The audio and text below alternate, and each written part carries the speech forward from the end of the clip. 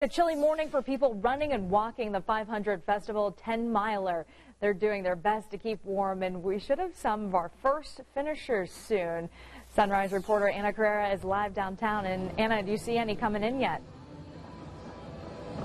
Uh, yeah, Alyssa, we've actually had quite a few finishers already so far this morning, which is awesome. Less, or about an hour or so uh, to do 10 miles, so that's what, like a six minute mile. It's faster than probably, uh, well, I guess I could drive that fast, but that's not what we're here for today. So uh, Tyler over here is one of the first finishers today. Congratulations, first of all. Thank you. How, how was it out there? Because it is kind of cold, but I hear sometimes runners don't mind it when it's a little chilly. Uh, no, it was actually pretty nice out. I mean, ideally you want it to be around 40, 45 degrees, so it's a little little cold today, especially with some of the weather we've been having where it's been a little nicer. But it was it was nice once you got warmed up and moving out there. And this is going to be your first Indy Mini coming up next month. That's right. Why why did you want to be part of this and, and do this?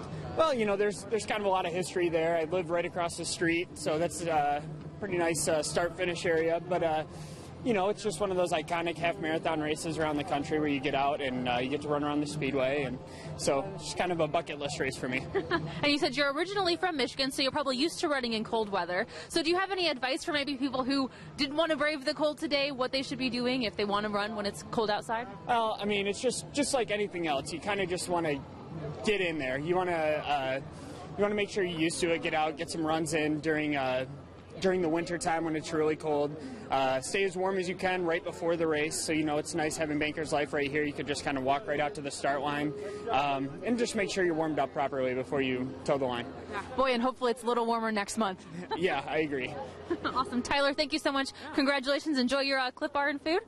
Have a good rest of your day. Thank you. Uh, within the next half hour, we're going to check out with some more people who are finishing. And of course, Alyssa, uh, next month, the Indy Mini is going to be right here on WTHR.